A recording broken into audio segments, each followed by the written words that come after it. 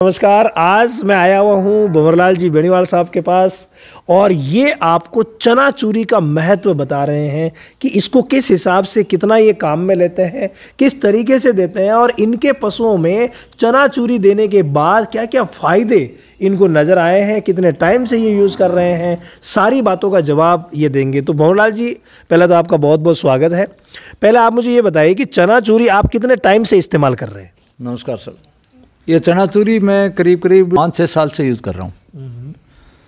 तो इसका अपने को फ़ायदा ये है कि जैसे अपन बंटा देते हैं ना गाय भैंस को। बंटा मतलब जो दाना मिश्रण दाना मिश्रण करते हैं उसमें अनाज मिलाते हैं और खड़ मिलाते हैं। तो इसमें दलहन जहाँ अपन ये इसे दाल में आ जाती है। हाँ इसको आप अनाज नहीं कह सकते।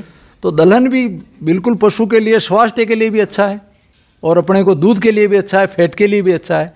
मतलब किसी भी हिसाब से दलहन है ना। जैसे मूंग की चोरी हो गई तो इसमें ज़्यादातर मूंग की चोरी में आजकल क्या हो गया जो नई टेक्नोलॉजी से मशीनें आ गई ऐसी कि उसको पूरा छिलका उतार खाली छिलका ज़्यादा आता है मात्रा में। अच्छा। और चने में क्या होता है ये छिलके के साथ साथ में चने का पाउडर भी आता है। बिल्कुल बिल्कुल। ये अपने को बहुत पौष्टिक आहार है।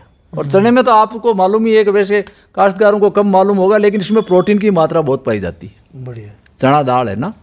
और चना बहुत उपयोगी भी है ये मैंने आप लोगों से सीखा है। कोई भी कोई भी आदमी पहले से जानकारी मैंने आप लोगों से पता किया शुरू के अंदर तो चूड़ी को चूरी को महत्व दिया गया। तो चूरी में मैंने धीरे धीरे सभी चूरी ट्राई की। अच्छा। ये चूरी सबसे बेस्ट लगी। इसका रिज़ल्ट बेस्ट है। देखो चना चूरी का रिज़ल्ट इनको सबसे बेस्ट मिला। हाँ। तो आप भी एक बार ज़रूर प्रयास करें। आपको देने में क्या करना है?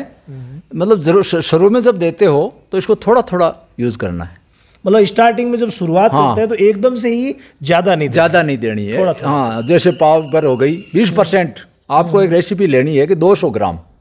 एक किलो के अंदर 20 परसेंट आप ये मिला लो। शाम को भिगो दो और सुबह बंटा में मिला दो। अच्छा शाम को भिगो के देते हो। शाम को साथ में एक खास ध्यान रखना चाहिए आपको। इसमें आपको नमक ऐड करना है परमानेंटली। बगैर नहीं नमक तो जैसे जो आप दाना मिश्रण हाँ, बनाते हाँ, हो नहीं, तो उनमें क्या क्या रखते हो? टोटल जैसे सारी चीज़ें मिलाते हो मैंने अभी अंदर देखो इसमें मैं क्या करता हूँ कैल्शियम भी मिलाता हूँ। ठीक और मिनरल मिक्सर भी मिलाता हूँ। ठीक है। और नमक भी मिलाता हूँ। नमक भी मिलाते हैं। ये आपके ऊपर निर्भर है कौन सी कंपनी का आप यूज़ करते हो वो तो जो भी कोई ज़रूरी नहीं है मेरी कौन सी पसंद है दूसरे की अलग अलग चॉइस रहती है। ठीक है। लेकिन तीन चीज़ आपको इसमें ऐड करनी ही करनी है। ये तो करनी और इनमें क्या क्या मिलाते हैं दाना मिश्रण में?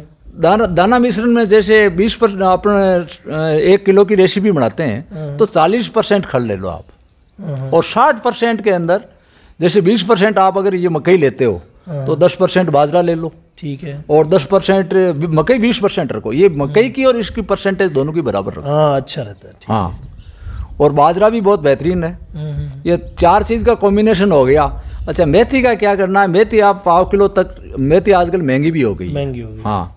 तो अपने को सब पूरा बजट भी देखना है। बजट के हिसाब से बिल्कुल मेन चीज़ तो यही मेन चीज़ है कि ये- मैं इसको आपको क्यों ज़्यादा मतलब इसका मैं तो बता रहा हूँ ये अभी तो अन सीज़न है ना हम्म। इसलिए थोड़ी महँगी है।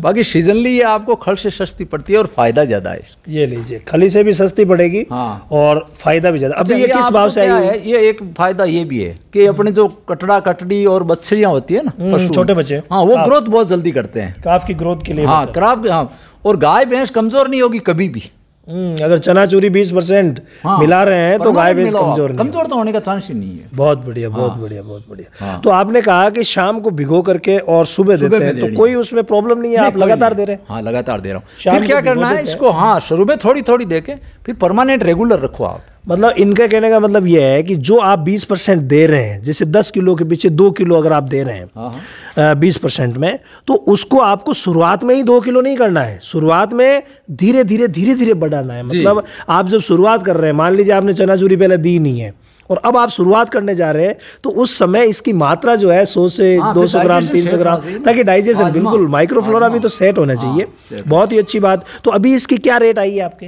ये तीन हज़ार रुपये तीन हज़ार क्विंटल है ना? हाँ, तो तीन हज़ार रुपये क्विंटल आई है तो खली से तो सस्ती है और फ़ायदा भी ज़्यादा है हाँ। तो इसीलिए इनके कहने का मतलब ये है कि 20 परसेंट तो आप चना चूरी मिलाओ ही मिलाओ। हाँ। ये बहुत ज़्यादा ज़रूरी है। बाकी जो रेशियो इन्होंने बताया एक और भी है साहब ये किसी भी पशु को दो आप। किसी को भी दे हाँ चाहे बकरी हो बकरा हो घर में जितने भी जानवर है ना सबको दे सबको दो आप। यानी आप अगर लेकर के आ गए हैं हाँ। तो आप सभी जानवर को चाहे वो काफ है हाँ। और प्रेग्नेंट है सब में ये बकरा बकरी सबको दो।